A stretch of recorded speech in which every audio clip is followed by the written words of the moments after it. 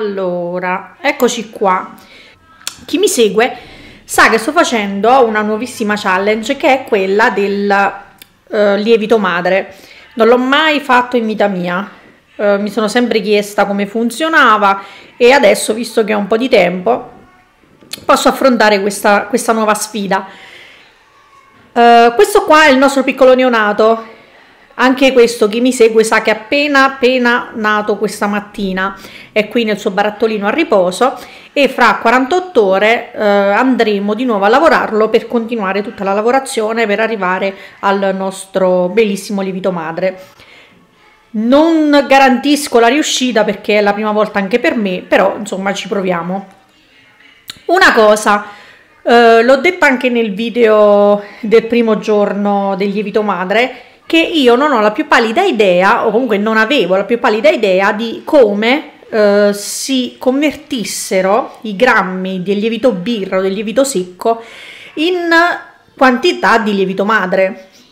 Era un mistero, ho chiesto, ho domandato chi ne ha detta una, chi ne ha detta un'altra, alla fine spulcia spulcia ho chiamato un panettiere e ho fatto prima e mi ha spiegato una cosa molto molto interessante perché il mio dubbio eh, durante le ultime panificazioni di questi altri giorni era che eh, una volta aggiunta una massa di una certa quantità secca, l'acqua fosse troppa o troppa poca della ricetta originale, quando andiamo poi ovviamente ad usare ricette ehm, che usiamo tutti i giorni, quindi non ricette apposite con il lievito madre.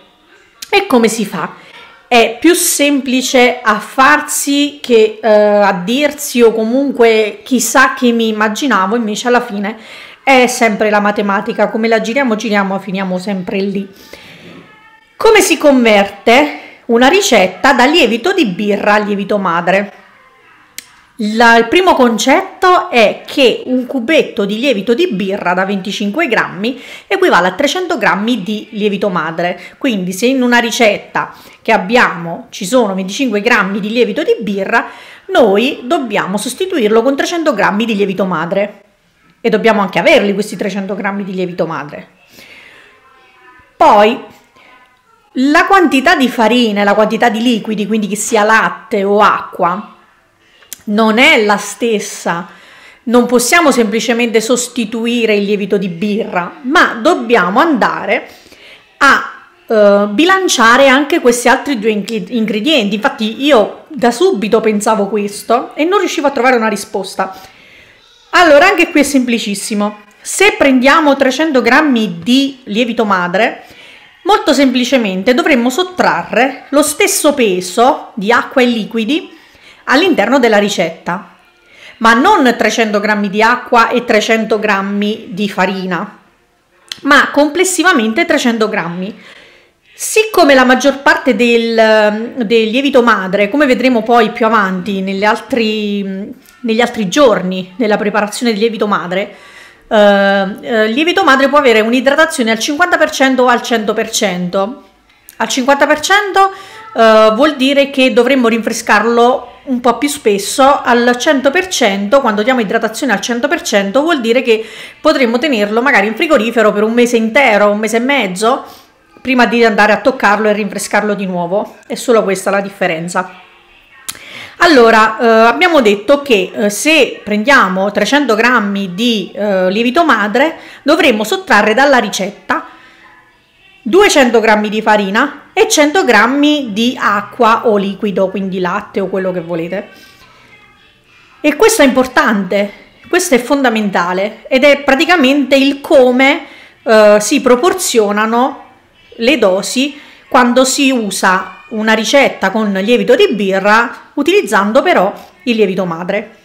Questo è quanto, molto semplice, eh, ma penso che proprio più semplice di così non si può.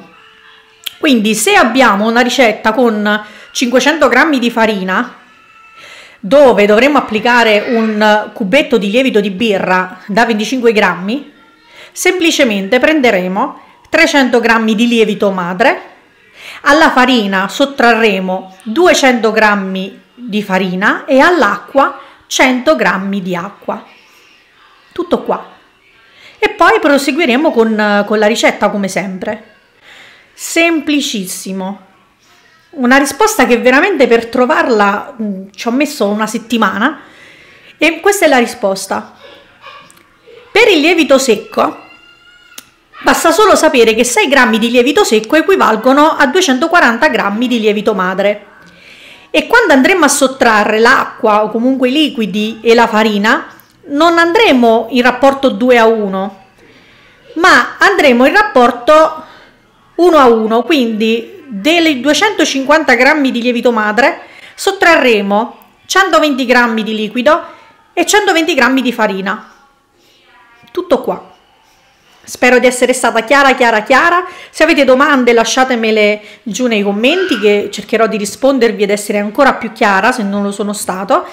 E ehm, se volete eh, seguire altre ricette o volete rimanere aggiornati sulle prossime puntate sul nostro piccolo cucciolo qui nel barattolo, eh, iscrivetevi al canale, eh, spuntate la campanella così vi arriverà la notifica di quando pubblicherò gli altri video e, e niente, eh, come sempre un ciao ne proprio a tutti e alla prossima!